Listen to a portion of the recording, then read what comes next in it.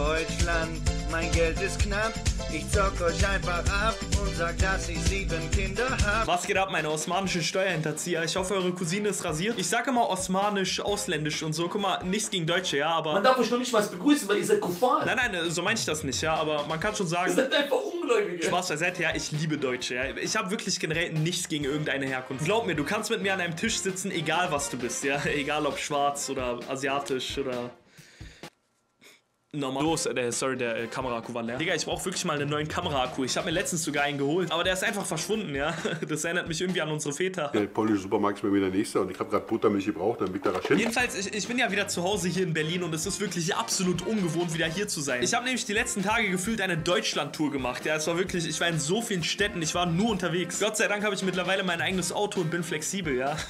Ich weiß, als ich es gekauft habe. Hey Bro, meintest du nicht, du gönnst dir einen 2012er Mercedes? Ach so, deiner Bruder, ich meinte, ich gönn mir eine Mercedes und die ist 2012. Aber darum geht's auch nicht, Leute, ja. Passt auf, heute geht's wieder um wirklich absolut sehr komische Menschen, um es mal nett auszudrücken, ja. Wir kennen sie alle, unsere Lieblingsplattform TikTok. Nicht alles, was auf TikTok ist, ist komisch, ja. Ich meine, da gibt's zum Teil auch normalen Content. Bro, ich habe heute für ein basic weißes Shirt 40 Euro gezahlt. Was ist das für ein Scam? Ja, Bruder, für den Preis hast du doch zwei schwarze bekommen. Ah, okay, auf TikTok ist hauptsächlich kompletter Random Stuff. Get ready with me, um mit meinem Freund Schluss zu machen. Heute widmen wir uns allerdings der, ich sag mal, weiblichen Seite von TikTok. Die ist nämlich ja echt ein bisschen komisch. Ja. Ich habe mir nämlich ein paar Frauen ausgesucht, die wirklich so Content machen, wo ich mir so denke, Bro, was ist los? Anyway, süßes, schnelles Thema an alle Skinny Girls, die sich hier von Justus anhören müssen. Ja, ist mal ein bisschen mehr. Oh mein Gott, stark. Oh mein Gott, Flachland. Du hast ja nichts. Bla, bla, bla. Hä, ausreichend zu essen ist doch voll wichtig. Das weiß doch wirklich jeder. Und natürlich rede ich mit meiner Freundin auch über ihre Ernährung, ja. Ich habe letztens sogar mit meinem Arzt darüber diskutiert.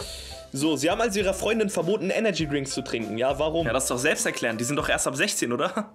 Eigentlich nicht, aber okay, wir müssen auch mal über ihre Gesundheit reden, ja? Gucken Sie mal, Sie sollten wirklich mit dem Masturbieren aufhören. Ja, warum? Ist es wirklich so schädlich? Nein, aber ich versuche mich gerade zu konzentrieren. Wenn ich es schaffe, viel zu essen, dann gibt es keinen Grund, dass eine Frau das nicht hinkriegen soll. Die besteht ja keinen Grund, warum der Metzger das nicht rausgelöst kriegen soll. Dieses Video wird gesponsert von Manscaped, der Nummer 1 Lifestyle- und Intimrasierermarke für Männer. Ihr fragt euch jetzt, was ist aber mit Frauen? Frauen sollen sich nicht ihre Gesichtsbehaarung entfernen, andernfalls enden sie im Höllenfeuer. Die Brüder von Manscaped haben sich was richtig Cooles einfallen lassen. Passt auf, was haben wir Ausländer alle gemeinsam?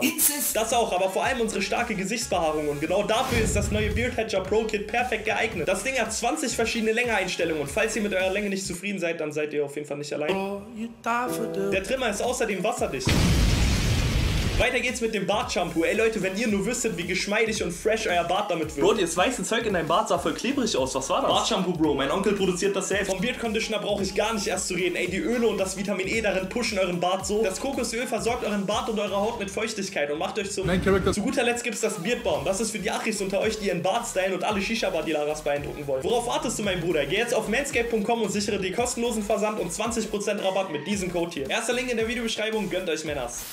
Okay, lang genug geredet. Ich äh, würde sagen, ja, wie schon gesagt, wir reagieren heute auf mehrere TikTokerinnen, die mir schon des Öfteren negativ aufgefallen sind. Und heute schauen wir mal, was die alles so machen. Lange Rede, gar keinen Sinn. Kommen wir mal direkt zum Video, okay? Los geht's. Auf euch, rinnen die hohle Birne. My name is Bella Hadid. Ey, wow. Und genauso andersrum, Mädels. Wenn dann Justus zu dir sagt, ey, du hast voll viel auf den Hüften, bla, bla, bla.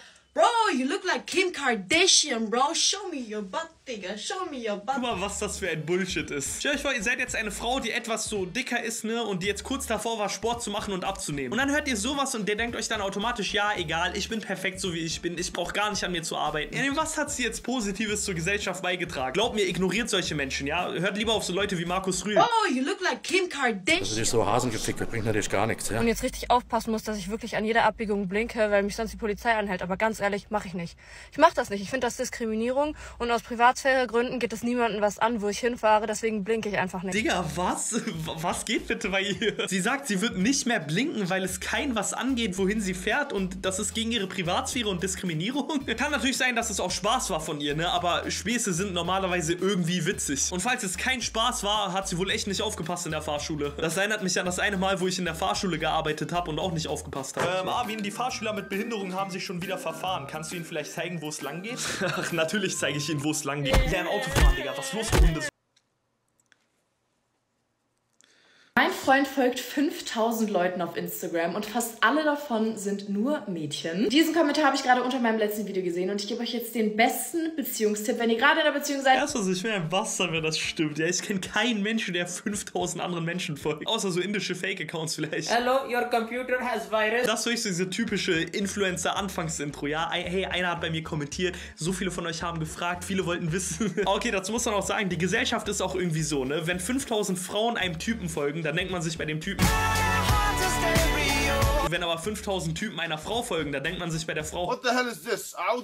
Ungläubige. Das wäre nicht mehr im Namen Allahs. Aber ey, manche Typen folgen auch Frauen einfach aus anderen Gründen, ja? Der Typ will wahrscheinlich nicht mal was von diesen 5000 Frauen, denen er folgt. Mein iranischer Onkel zum Beispiel, ich sehe letztes er, er folgt einfach so 50 Insta-Models, weil sein Aufenthalt jetzt befristet ist. Aber okay, manche wollen sich auch einfach in ihrer Beziehung nicht einschränken lassen und ihren Spaß haben, ja? So, was soll ich sagen? Spaß ist einfach sehr wichtig. F steht für Freunde, die was unternehmen. U steht für Unzucht ist normal. Seht ihr, er kann sogar seine eigene Tochter heiraten. seid, wenn ihr irgendwann in einer Beziehung seid, speichert euch dieses Video und hört mir zu. Ich will einmal, dass ihr euch alle erstmal daran erinnert, dass ihr der Main Character eures Lebens seid. Der Sinn deines Lebens ist, dass du glücklich bist. That's it. Guck mal, die sagt das so, als ob es im Leben einfach ausschließlich nur darum geht, um jeden Preis glücklich zu sein. Das Ding ist, du kannst im Leben nicht einfach so alles bekommen, ohne irgendeinen Preis dafür zahlen zu müssen. Bei einer Beziehung ist es doch genauso, ne? Ich meine, guck mal, wenn du eine bestimmte Person willst und diese Person bestimmte Werte hat, dann musst du dich doch entweder anpassen können oder eine andere Person suchen. So, ich glaube, sie fühlt das sogar. Sie sagt dann sowas. Dann sprichst du das bei ihm an, du sagst ihm das einmal, allerhöchstens zweimal, dass sich das stört. macht oder sagt auch gleichzeitig aber sowas.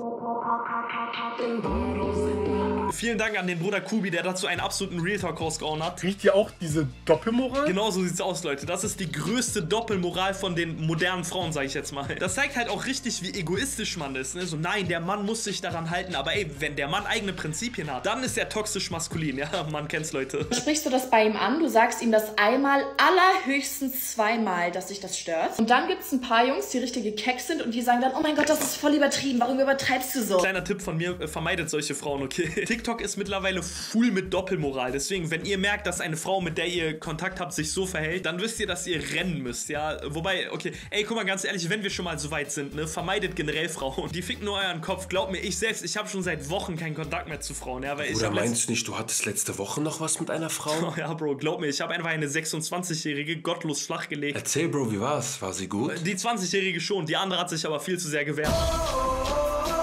Ey, Chayas, bevor ich Garo-Pause mache, Leine anziehen, mit dem Hund rausgehen, denn Hunde kriegen keinen Respekt, sie kriegen Befehle. 1 zu 0 für dich, ey, wow.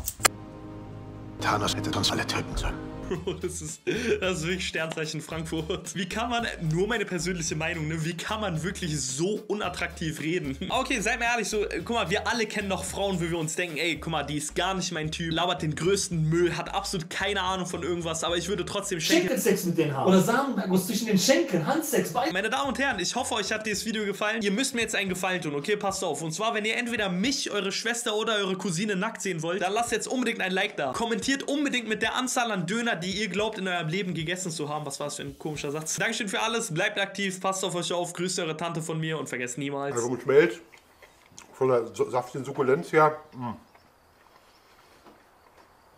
nicht anders. Deutschland, mein Geld ist knapp. Ich zock euch einfach ab und sag, dass ich sieben Kinder hab. Ich schwör, ich hab auch sieben, so viel hab ich getrieben.